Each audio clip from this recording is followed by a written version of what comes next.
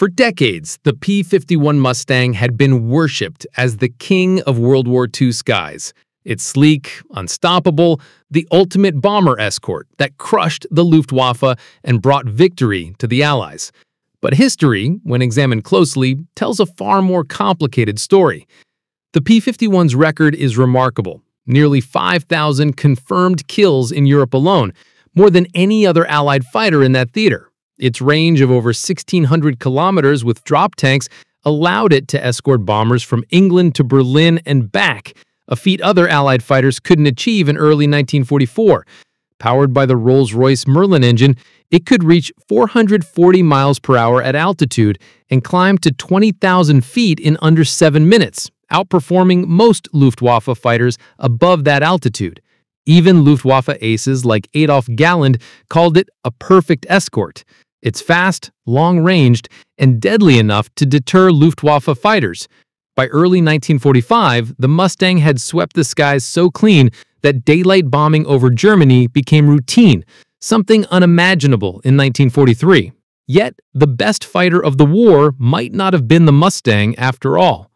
But being perfect in a dogfight isn't about looks, fame, or kill counts. It's about raw, measurable performance how tightly you can turn, how fast you can climb, and how quickly you can outmaneuver your opponent. A perfect dogfighter must be able to turn inside its enemy. In World War II, that often meant completing a full 360-degree turn in under 20 seconds at combat speed. The P-51D took about 20 to 21 seconds to complete a circle at 270 miles per hour, making its turn wider and slower than the Spitfire Mark 9, which managed 17 to 18 seconds, and much less nimble than the A6M0, which could carve a full circle in just over 15 seconds at lower speeds. When climbing away from danger, the P-51D reached around 3,200 feet per minute. Impressive, but still behind the Bf-109-K4's 4,500 feet per minute and the Spitfire Mark 14's 4,600 feet per minute, both of which could outclimb and leave the Mustang behind. At low speeds, the Mustang's heavier control forces made tight, stall-edge turns more hazardous, while the Spitfire's elliptical wings offered smooth, responsive handling, and the Zero's feather-like controls made it almost untouchable in slow-speed duels. Pilots often remember the moments when their aircraft saved them, or nearly got them killed. P-51 pilots were no exception. USAF ace James Goodson, credited with 15 aerial victories, praised the Mustang's speed, but admitted if you tried to turn with the Focke-Wulf at low level, you were dead. Mustang pilots were trained to avoid turning battles altogether, relying instead on boom and zoom tactics, as a Spitfire, Zero, or even a skilled Bf-109 could outturn them. Lieutenant Colonel John C. Meyer, a Mustang ace with 24 kills, described the Mustang as a thoroughbred that needed room to run, cautioning against getting trapped in tight turns. Mustang ace Clarence Anderson acknowledged that against the Japanese Zero in the Pacific, the Mustang would run away rather than engage in the Zero's slow-speed turning game. Reports show many Mustang losses resulted from pilots ignoring training and engaging in low-speed dogfights where the Mustang's higher wing loading was a disadvantage. Beneath the Mustang's legendary reputation lies a paradox. The very design feature that gave it exceptional range and speed also concealed a critical flaw in classic dogfighting. Its laminar flow wing was a radical departure from most World War II fighters. It reduced drag so effectively that the P-51 could escort bombers deep into Germany without refueling, with a top speed of 437 miles per hour at altitude, the Mustang was faster than both the Spitfire Mark 9 and FW-190A-8, each at around 408 miles per hour, and could even nearly match a Me 262 jet in level flight at low throttle. However, the laminar flow wing's efficiency dropped sharply at high angles of attack, causing the Mustang to lose speed rapidly during sustained turns. If a Mustang pilot pulled too hard, airflow would separate abruptly over the wing, resulting in a sudden stall, whereas planes like the Spitfire provided more warning and recovery time.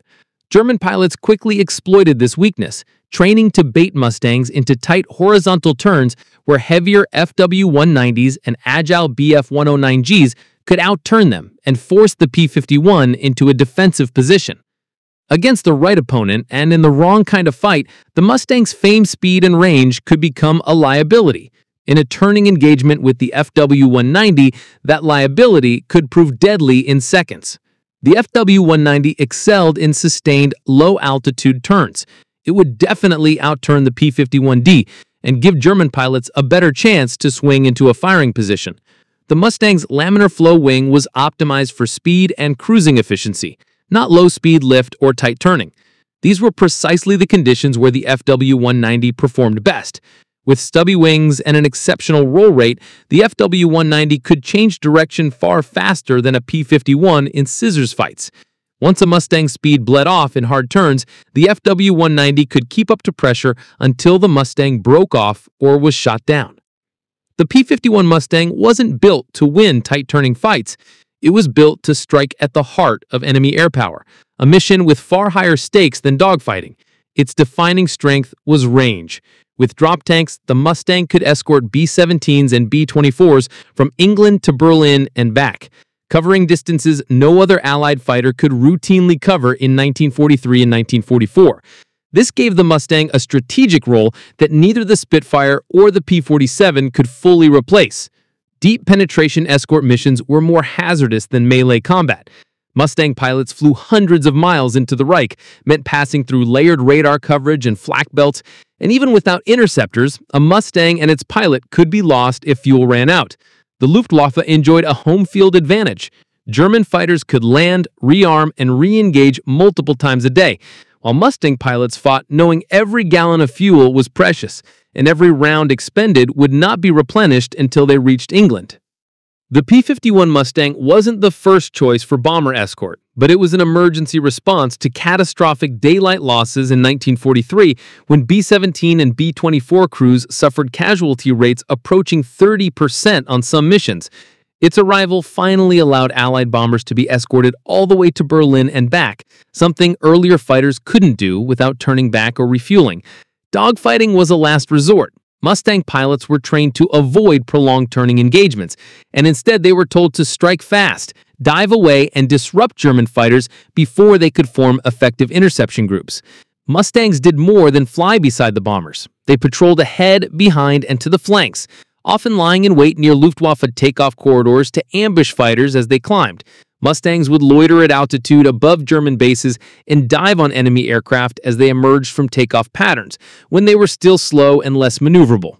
Even the Me 262 was vulnerable to this tactic. From January to April 1945, Luftwaffe losses averaged 1,500 to 2,000 aircraft per month, with over 60% destroyed in air combat, a rate of attrition no Air Force could sustain. Mustangs accounted for the majority of Western kills, USAF Mustang groups regularly posted kill ratios exceeding 10 to 1 against German fighters. Some elite units approached 15 to 1 in March to April. By March 1945, single major USAF raids could be escorted by more than 500 Mustangs across the target area, and every approach to attack a bomber stream risked running into a solid wall of fighters. In the final three months of the war, P-51 ground attack sorties destroyed thousands of aircraft on the ground, sometimes more losses in a day than the Luftwaffe could produce fighters in a week. Strafing raids on German airfields in April 1945 effectively erased organized air opposition. The P-51 Mustang's legacy was never about being the nimblest dogfighter in the sky. It didn't have the sharpest claw, but it had the longest reach.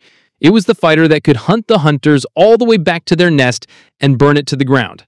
By 1945, it had not just defeated the Luftwaffe, it had made the very idea of contesting Allied air superiority over Germany impossible. Thank you for watching, and please support my work by subscribing and purchasing my ebooks.